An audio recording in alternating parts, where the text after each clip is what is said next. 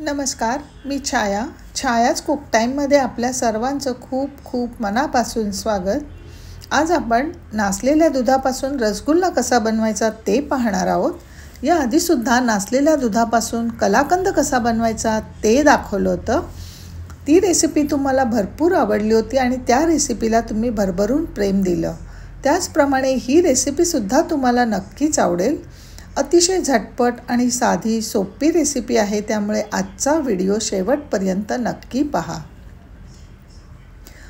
तुम्हाला जर चांगल्या दुधापासून रसगुल्ला बनवायचा असेल तर सर्वप्रथम तुम्हाला दूध फाटून घ्यायचं आहे.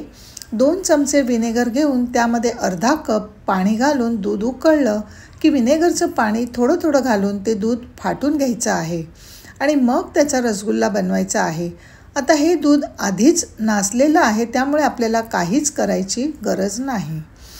हे नासलेलं दूध अर्धा लिटर आहे. हे दूध मी थोडं गरम करून घेणार आहे. म्हणजे यातलं पाणी जे आहे ते आपोआप वेगळं होईल. हे पहा दूध आपण गाळून घेऊयात यासाठी भांड्यावर चाळण ठेवून त्यावर सुती कापड किंवा रुमाल ठेवा. त्यावर हे सगळं दूध ओतायचं आहे. यातलं संपूर्ण पाणी काढून घ्यायचं आहे.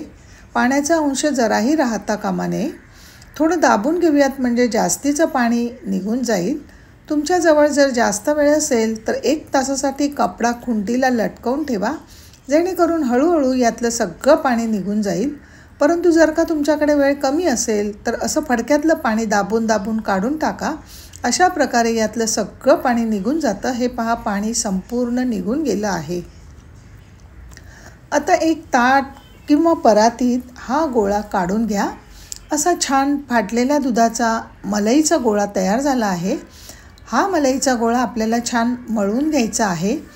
हा मलईचा गोळा तुम्ही जितका जास्त मळून घ्याल तितका हा गोळा सॉफ्ट होईल आणि आपले रसगुल्लेही खूप छान मऊ होतील. हाताच्या तळव्याने रगडून रगडून ही मलई मळायची आहे. लक्षात असू द्या मलई मळताना त्यात मैदा किंवा कुठल्याही प्रकारचं पीठ घालायचं नाही.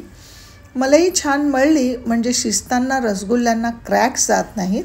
अतिशय सॉफ्ट होतात म्हणून मलई छान मळणं इम्पॉर्टंट आहे. आता हे रसगुल्ले तुम्ही पाहिजे त्या आकारात बनवा लहान मोठे किंवा लांबट. मी मात्र छोट्या आकारातच बनवणार आहे. हे पहा अगदी मस्त असे रसगुल्ले तयार झाले आहेत. आता लगेचच आपण शिजवून घेणार आहोत. गॅसवर एक पसरट कढई ठेवा त्यामध्ये एक कप साखर घाला. एक कप साखरेसाठी चार कप पाणी घाला. आता ज्या कपने साखर घेतली होती त्याच कपने पाणी घ्यायचं आहे. रसगुल्ल्याचा रस असतो तो जरा पातळ असतो म्हणून इथे आपण चार कप पाणी टाकलं आहे. गॅस फ्लेम हाय ठेवून साखर पाण्यामध्ये पूर्णत विरघळून घ्यायची आहे.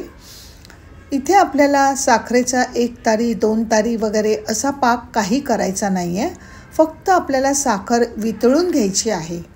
साखरेच्या पाण्यात टाका पाव चमचा व्हॅनिला इसेन्स पाण्याला छान उकळी येऊ द्यायची. पाणी उकळल्यानंतरच त्यामध्ये आपल्याला हे रसगुल्ले सोडायचे आहेत. लक्षात असू द्या रसगुल्ले सोडताना पाणी छान उकळलेलंच पाहिजे. थंड किंवा कोमट पाण्यात अजिबात रसगुल्ले सोडायचे नाहीत. थंड पाण्याने ते शिजणारही नाहीत आणि ते कडक होतील. रसगुल्ले सॉफ्ट होणार नाहीत म्हणून ही काळजी घ्यायची आहे. दहा मिनटे झाकण ठेवून हे रसगुल्ले आपण शिजवून घेणार आहोत. दहा मिनटानंतर तुम्ही पाहू शकता हे रसगुल्ले अगदी छान फुलून दुप्पट झालेले आहेत. रसगुल्ला शिजवताना गॅस हा नेहमी मध्यम आचेवर असावा. मोठ्या आचेवर ठेवून रसगुल्ले शिजवायचे नाहीत. दहा ते बारा मिनटं हे रसगुल्ले आपल्याला शिजवायचे आहेत. जास्त शिजले तर आतून रसगुल्ले कडक होतात सॉफ्ट होणार नाहीत. दहा मिनटानंतर गॅस बंद करा आणि रसगुल्ले ट्रान्सफर करा. दहा मिनटं तरी फ्रीजमध्ये थंड करायला ठेवा. गार गार रसगुल्ले खायला खूपच छान लागतात. दहा मिनटानंतर मस्त थंडगार रसगुल्ले आपले तयार आहेत. बघता क्षणीच खावेसे वाटतील. इतके सुपर सॉफ्ट आणि लुसलुशीत रसगुल्ले तयार झाले आहेत. रेसिपी कशी वाटली ते कमेंट करून नक्की कळवा. छायाच कुक टाईम चॅनलवर नवीन असाल तर सबस्क्राईब करायला विसरू नका. धन्यवाद.